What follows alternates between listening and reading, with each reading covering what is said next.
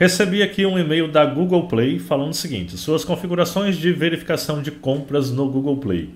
No Google Play você pode configurar a biometria, impressão digital ou rosto como método de verificação de compras em dispositivos móveis com esse recurso. Se você configurar a biometria, sua identidade vai ser verificada com esse método sempre que você fizer uma compra no Google Play.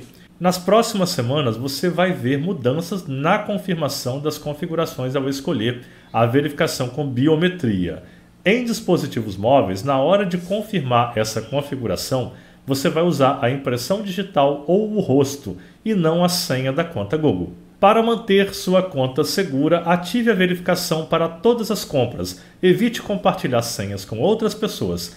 Tenha cuidado ao armazenar dados biométricos de crianças ou outras pessoas no seu dispositivo, já que eles podem ser usados para verificar compras. Como que eu vou ativar isso aqui? Você entendeu, né?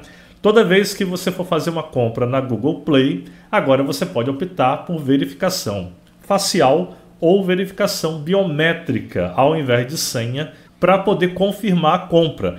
Eu vou entrar aqui no Google Play para poder configurar, clicar na fotinha aqui de perfil da conta e agora eu venho em configurações. Veja que eu tenho aqui, ó, verificação de compra é aplicável a compras feitas no Google Play para esta conta Google. Vamos clicar aqui e veja.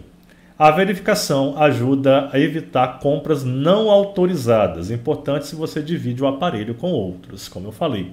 Mas você pode aqui usar o rosto ou a impressão digital em vez de senha. Eu vou habilitar e veja, ele vai pedir a minha senha da conta Google. Ok.